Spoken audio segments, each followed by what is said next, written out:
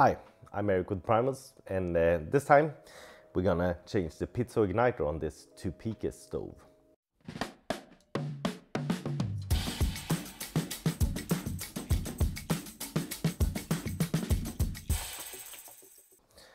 Start by opening the lid of course and uh, lifting out the drip tray and the pot supports and we can put those to the side. Then we're gonna change the igniter.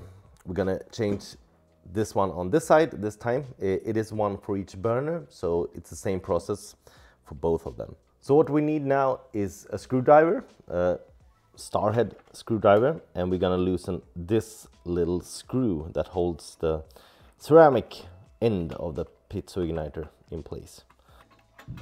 We can put that to the side. Then we can bend this holder a little bit just so we get some room to get the ceramic out like so. Now we're gonna loosen the piezo holder here. And for that there's two clips on the inside that we need to squeeze together and press the whole thing out. Like so. And then we just pull the whole cable through from the inside. Then we need to take out the piezo from this holder.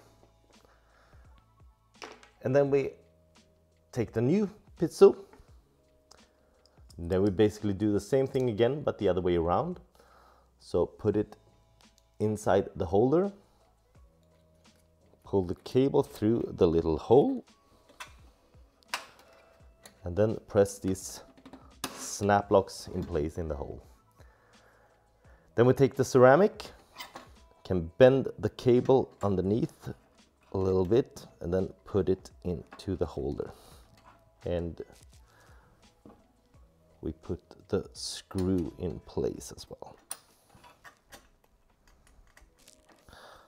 There, and use the screwdriver to lock it in place.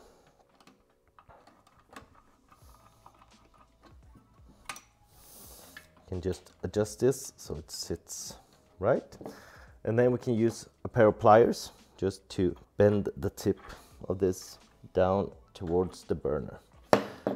And the distance here between the burner and the end of the ignition wire should be about four to five millimeters. And now the piezo igniter is mounted in place and we can test the function, see that the spark is coming and then we can just attach a gas canister and see that it also ignites. So I put the gas canister on.